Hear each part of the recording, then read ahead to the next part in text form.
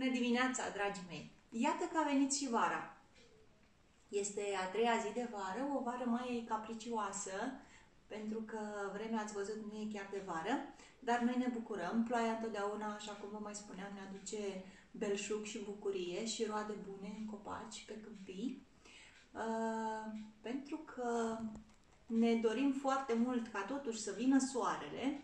Astăzi am să vă propun să ne jucăm cu soarele, să-l chemăm, să vină mai repede și am să vă spun o poveste foarte, foarte drăguță despre uh, blândețea și, și puterea soarelui.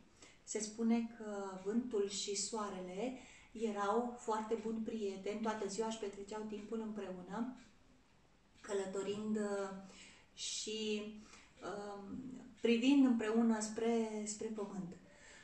Uh, vântul uh, era cel care însă îi spunea mereu soarelui, știi, eu sunt mai puternic decât tine și arăta, uite, eu pot să schimb lucrurile pe pământ cu forța și cu puterea mea, pot să mișc lucrurile, pot să mișc uh, copacii. Atunci când suflu eu, copacii se pleacă dintr-o parte în alta.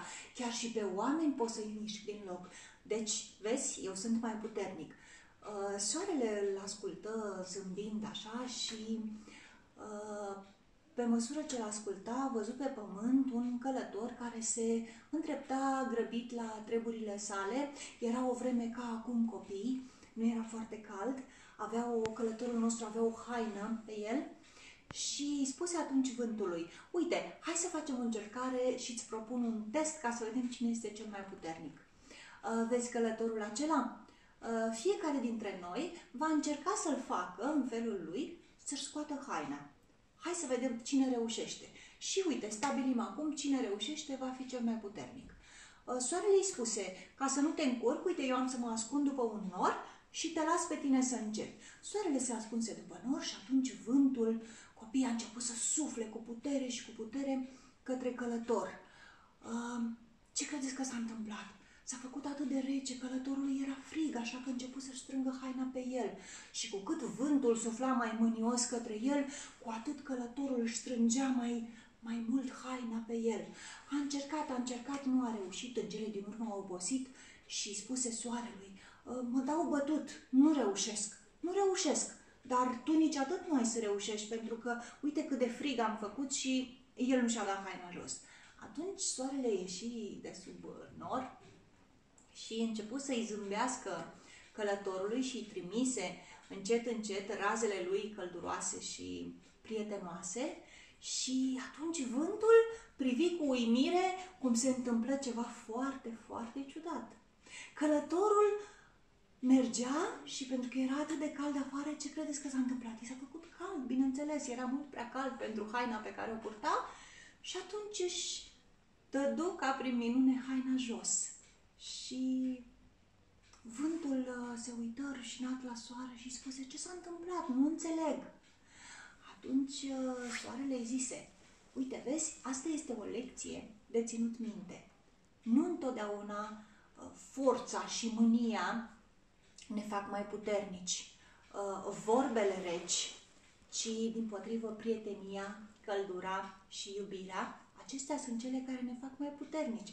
Acestea ne ajută pe noi să schimbăm oamenii. Așa cum frigul și răutatea nu schimbă oamenii sau nu, nu îi schimbă în bine, tot așa căldura și prietenia și iubirea și armonia îi pot face pe cei din jur mult mai puternici și iată, aceasta este adevărata putere.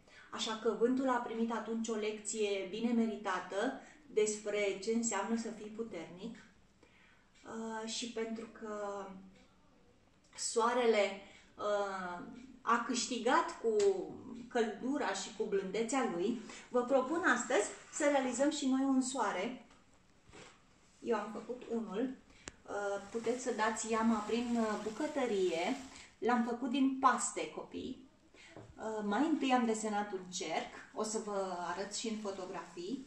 Am desenat un cerc, Uh, am pus lipici de jur împrejurul cercului și apoi am lipit pastele acestea realizând astfel razele călduroase și prietenoase ale, ale soarelui.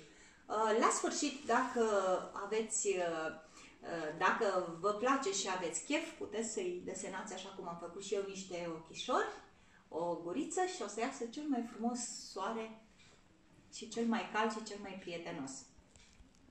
Vă urez spor la lucru și să aveți zile însorite. Vă pup!